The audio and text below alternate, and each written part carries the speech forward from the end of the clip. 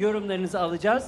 Daha sonra gecenin ikinci bölümünde kendi seçtikleri serbest çalışmalardan, serbest eserlerden bir tane daha söyleyecekler. Ondan sonra da notlarınızı alacağız. Şimdi sadece yorum alıyoruz. E, notu sonra veriyoruz. Notu sonra veriyoruz. Şimdi yorumlar. Başlayayım mı ben? Ee, Hadi Bülent Hanım buyurun. Efendim, şimdi e, tabii burası hep sahne, e, vitrinin önü, camın önü, sahne falan der ki Evet. hep ben tabii ona o mevzuda katılıyorum. evet. E, işte sahne ancak bu kadar olabilir. Aa ne güzel. Teşekkür ederim hocam sağ olun. Beğendiniz sahnesi. Ve sahneyi yaparken o, o dinamizmi sağlarken sahnenin her yerini, santimetre karesini ayrı ayrı kullanırken o dinamizmde eee, okuyucular onu ancak bilebilirler. Nefes eee, zorlanması olabilir. Efendim her ne kadar şan tekniğiniz olursa dahi olsun. Çünkü o bir saniye yerinde durmadı. Evet. Eee, ve zordur o şekilde e, sahne yapmak. E, seslerde hiç kayma olmadı ve e, baskılar çok güzeldi. Hiç detone duymadım. Bilmem zaten haliniz de katılıyor musunuz? Ve e, hakikaten hep yapar ya e, her tarafını yıldızlar falan. Evet. Evet. Ben de her tarafını yıldızlı 10 veriyorum ona. Şimdi bu bu performans için öyle. Bir şey söyleyebilir miyim? Hocam ben e, doğum gününüzü kutluyorum. İnşallah daha nice nice uzun mutlu yıllara. Ve çok güzelsiniz bu akşam her zaman olduğu gibi. Yani İyi okudun ama gözlerin bozuk biraz demek ki. bu gözleri bozuk dediniz. Biraz e, çok güzelsiniz Bozuk dedi de ben olabilir de mi onun ayol? için dedim ki biraz Estağfurullah, gözleriniz bozuk. estağfurullah. Hocam benim çok- gözlerimin çok iyi olduğunu söylerler. Oo. Bülent Hanım yani diyorsunuz ki ben böyle özel bir günümde bir kutlama için Tamer'i dinlemeye, Tamer'in çalıştığı yere gidebilirim. E doğrudur. Bu gece şu ana kadar Doğrudur. Ee, ve e, görüyor musun istediğin bu muydu? Bu şekli istiyordun değil mi dedim. E, el- elbet dedi. Yani aklın yolu bir zaten. Şimdi kendisi de ne söyleyecek? E, Ve benimkine e, yakın bir şeyler söyleyecek muhakkak. Bakalım Armağan Söyleyecek. neler. Çok teşekkürler Bülent Hanım. Bu kot sizin kendi kotunuz mu? Evet. Biraz üstünüze büyük. Biraz büyük olduğunu farkındayım da. e, Moda. hani bu ara çok evet herkes bol böyle daha geniş kotlar kullanıyor sahnede. Ama şimdi onun için uzun boylu olmanız lazım. Allah vermemiş Eğer ne yapalım. e, o zaman boyunuza göre bir şey giyeceksiniz. Böyle kot giydiğinizde sizi iyice yere yapıştırır. Çirkin olmuş mu? E çirkin olmuş tabii. Ona Bacak boyunuz zaten kısa. Bir de bu bol kotu giymişsiniz. Ayakta mısın, oturuyor musun belli değil. Bizim kaderimiz bu Osman Tan Bey ne yapalım vallahi. Beni karıştırma Tamer. Beni karıştırma. Ben memnunum. Osman Ben Tan çok siz de memnunum. çok şıksınız ama. Çok teşekkür Vallahi. ederim. Sağ ol. Şuradan gelirken böyle öf dedim patrona bak yahu. Estağfurullah. İmzayı Çok sağ bastı yani. Allah helal Teşekkür olsun. ediyorum. Sağ olun. Sağ olun. Çok teşekkürler. güzelsin ama laf olsun diye söylemiyorum. Sağ olun. Çok teşekkürler. Süper. Sağ bir olun. de bak dön arkanı. Dön. Bak kotunun arkasındaki çizgiler kahverengi. Senin üstündeki şey siyah saten. E, oldu mu? Kahverengi başka ne var üstünde? Altın. Dön bakayım arkana oğlum. Ben de hep arkaya bakıyorum. Neden acaba? Dönsün ulan. Döneyim mi Aa, hocam? manyak. Buyurun hocam. Altın. Altın. Uyar uyar bak. Uyar mı hocam? Uy- uy- Uyar Hani mı? siyahla sarı güzel durur dediler. Ben de çok Hayır, hayır, anlamadığım altın, için. altın. Siyahla sarı güzel durur dediler bilmiyorum ama. Kim dedi çok şık diye? Nasıl? Aa evet. Bütün arka taraf. O da bu mevzuda çok iddialıdır da hakikaten çok şık giydi. hele bu ceketin üstünde bir maşallah eksik. Sünnet olmuşsundur sen. Değil mi? Niye gülüyorsun olmadın mı? Aa olmadın mı ayol? Hayır. Oldu mu hocam olmaz mı? niye çabuk söylesene oldum diye. Ne bileyim hani olmamak mutlaka olmuşuzdur diye yani. Nasıl Biz olmuşuz? nereden bileceğiz seni? Farkında değil misin oldum mu olmadım? Oldum canım. Ha, iyi. Olmaz mıyım? iyi. Çok küçüktüm. Reklamda bir bak sen. Dur ben bir kalkayım. Tamer. Efendim. Bir de insanları çok eğlendirmek, çok konuşmakla ilgili bir durum değildir. Evet.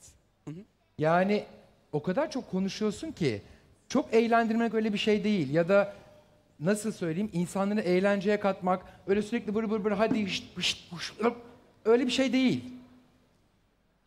Onlar senin bir hareketinle, bir bakışınla, bir yürüyüşünle katılmalı. Anladın mı? Çok konuşunca böyle bir boğuluyor her şey. Bu genel artık böyle oldu ama hep değil Öyle mi? Hani Ama, ama zenginleştirmek yani adına. o- o zaman da bir ucuzluyor her şey. Ee, siz haklısınız da işte hep böyle oldu artık. Hadi elleri göreyim falan.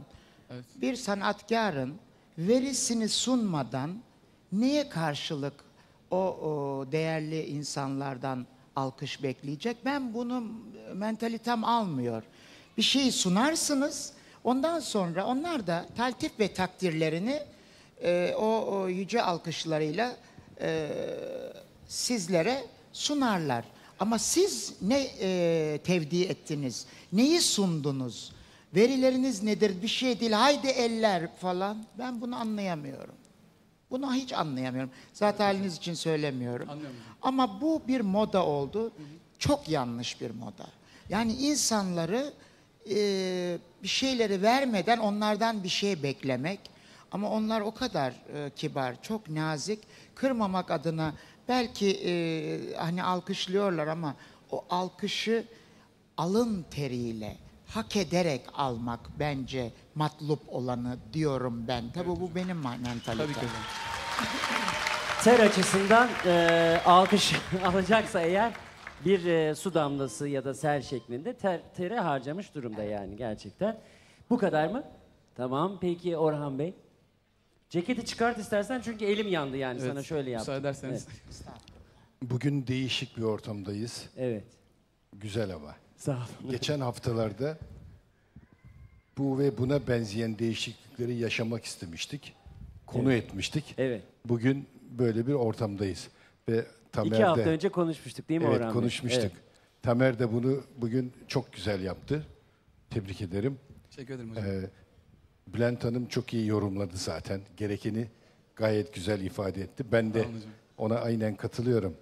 Ee, çok iyiydi.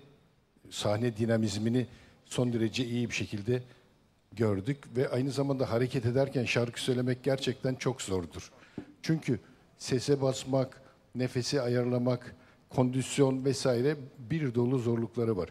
Bunu gayet güzel yaptın. Tebrik ederim. Teşekkür ederim hocam. Çok sağ olun. Ee, bu arada şu anda not vermeyeceğiz. Üçüncü şarkıdan sonra not vereceğiz.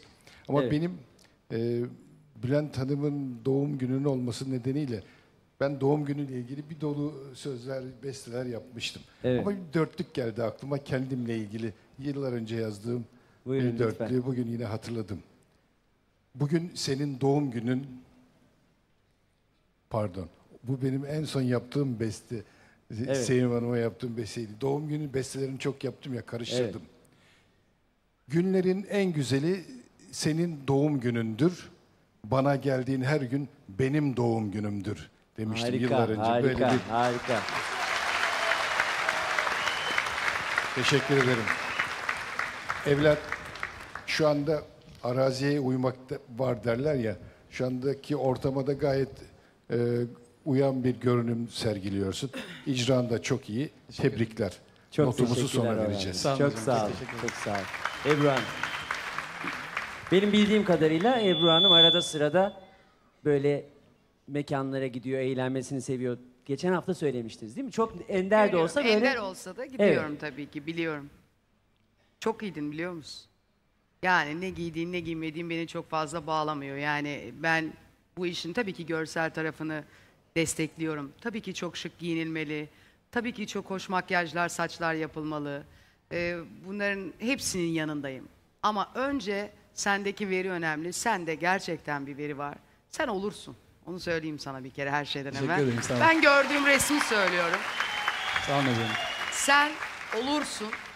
Ondan sonra pantolonu da düzeltirsin. Ondan sonra gömleği de düzeltirsin. Onlar sonradan düzeliyor. Boş ver. Ben de çıktığımda nişan tuvaletleriyle çıkmıştım. Onlar düzeliyor sonradan. Sonra kavalye öğreniyorsun falan filan derken bir bakıyorsun Türkiye'nin en şık kadını olmuşsun veya makyajı en çok konuşulan kadın olmuşsun. O yüzden bunlar zaman içinde olur boş ver. Senin sen- sesin güzel, sen harikasın ve çok da lezzetliydi. Harika. Teşekkür ederim sağ olun. Sen tabii Türkiye'nin en şık giyinen kadını olma. E, hayır tabii ki. Tabii ki. Erkeği ol. tamam peki. Peki. Zaman ne kadar zaman mesela Ebru Hanım? Valla e, benim hayatımda 2-3 yıldı o e, cehalet dönemi. Giyinmeyi bilmemek, makyaj yapmayı bilmemek, saçtan anlamamak gibi bir 3 senem geçti Ben zannederim. o süreç zevkli ve içerisinde. şık giyinmenin parayla ilgisi ben olan bir şey olduğunu yo, yo, düşünmüyorum. ben maddesel söylemiyorum. Geldiğiniz noktayla alakalı. Ben bir mahalleden geldim. Yani bir tane pantolon almak için anneme yalvarırdım yani. Şimdi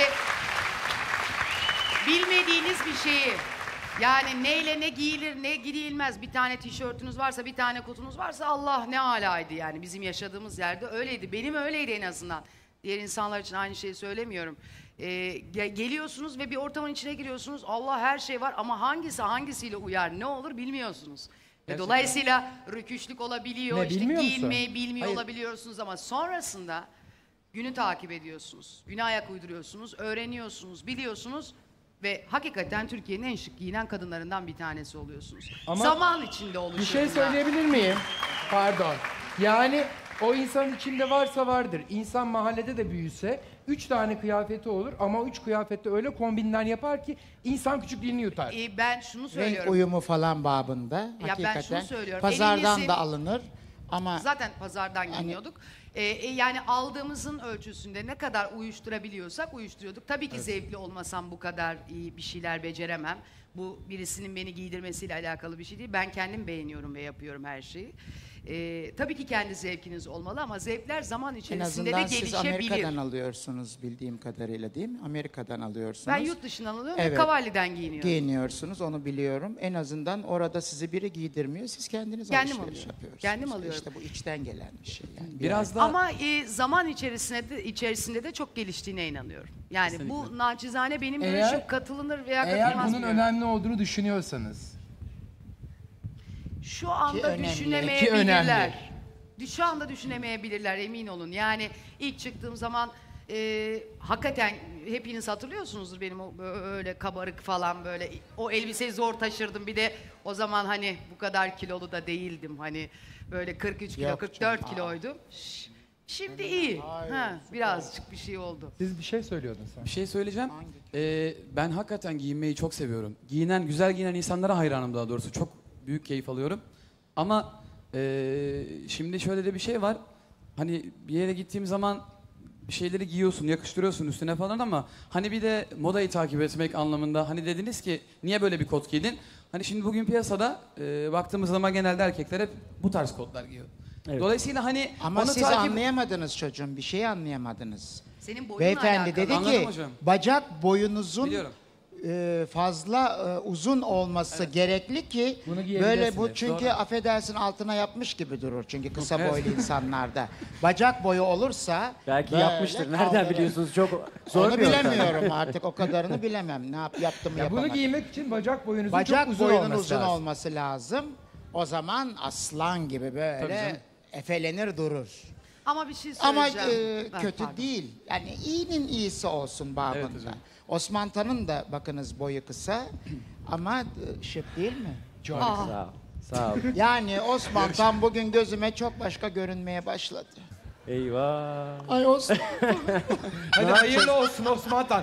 Bu bölüm Bülent Hanım- Orhan Hayırlı abi olsun. Sonra Osman. yaklaşırken Son giderken Sonra gider ayak. yaklaşırken Az yak- kör Bu değilim kadar. demek ki. Bu kadar olur. Yani bakın o kadar hafta smoking giydim giydim keramet bu kottaymış. Ama yani. bu çok böyle bir taze geldin bak. Şimdi bak sana bir şey daha söyleyeceğim. Sağ ol. Sen bir star adayısın değil mi? O böyle elinden o ne? Hangisi? Ceket. o ne öyle? Yani böyle. Ne o? Sizi dinliyordum. muha- Be- beni muhabbete dinliyorsun daldım. da. Ha bizi dinliyorsun. Sen star adayısın değil mi böyle? Devlet memuru gibi. Devlet memuru gibi böyle. Ha. Ne bu? Ne yapmalı? Sahne bitti. Bunu çıkarttın değil mi? Ya böyle yere atarsın, ya buraya gelirsin, burada bir yere koyarsın. Bu ne böyle? Garson gibi böyle. Onun efesi odur. bir daha kuru temizleme parası vermeyelim diye işte yere atmadım. Hayır hayır. Onun efesi odur. Hatta üstüne basacaksın. Haklısın. Peki. Tamam bu Peki. bunu unuttuk haklısınız. Ama sizden çok şey öğrendik zaten sahne adına öğreniyoruz da. Teşekkür ederim ayrıca. Ama hep biz gelmeyeceğiz işte yanınızda. Olsun öğreniyoruz, Nereye gidersek uygulayacağız. dördümüz oturacak mıyız canım? Ama hayır şimdi öğreniyoruz, yarışma bitecek, biz de uygulamaya başlayacağız. Ha. Sizler bize çok şey öğrettiniz yarışma başından beri. Özellikle Armağan Çağlayan. Giyim konusunda, sahnede duruş konusunda Peki. bunları mutlaka uygulayacağız Bir tekrar. şey söylemek istiyorum. Buyurun Ebru Hanım. Tamer. Hadi bırakayım şey. Kesinlikle modern ol, tamam. Kesinlikle güne ayak uydur.